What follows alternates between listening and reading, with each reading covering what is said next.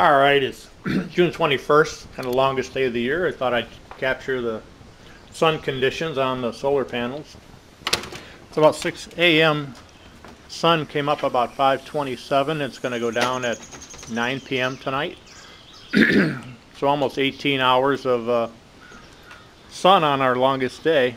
You can see my solar tracker is not in the sun yet, but there is sun hitting the trees across the street. Let's check out where the sun is at in the sky. Now the house faces about 205 degrees, which is a little bit west of south. and you can see our big tree here. Some sunlight hitting it the top. And I actually can't see the sun, but it's actually right over the, the peak of that house. So it'll come up over here. Once it clears that, it'll start to hit the solar tracker, which is sitting there waiting for it. And you actually can see some of the sunlight coming down on the top of that tree. But the problem is, it takes a while for it to get high enough in the sky so that it can actually project sunlight on these panels and it's actually mid-morning before I actually start to get some production even when the sun comes up early here at 5.30 so that shows uh, a pretty big advantage of having a solar tracker. If you have batteries and you need them to get recharged early in the morning uh, if they've been running all night running uh, things in the house. So I see that's a big advantage of having a, a tracker. And, and, in my particular design uh, it's very simple. It just uses a rotator and a timer circuit to uh, time it to where the sun should be in the sky and it's pretty much been running non-stop since I uh, installed this last fall not a single problem uh,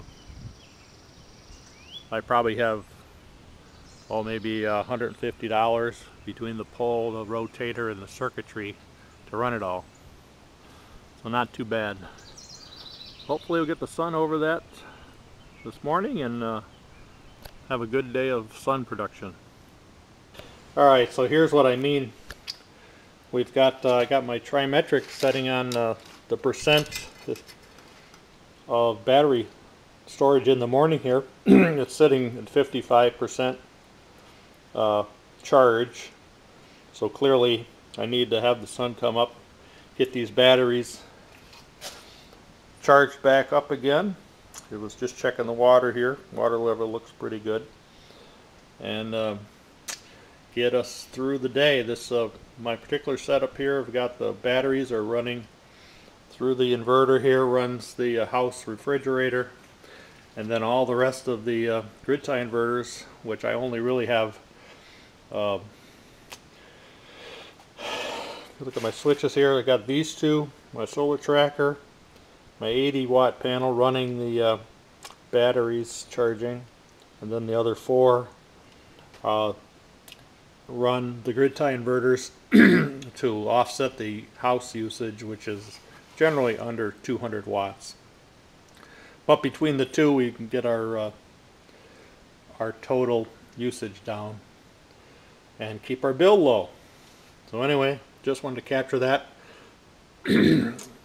being the longest day of the year. All right, it's the end of the day here. See the sun is still up, tracker's still tracking. Had a pretty partly cloudy day today. Let's go see how the batteries did. All right, we're still putting six and a half amps in the battery, mainly from the solar tracker and uh, up to a full charge. So we're back to where we want to be.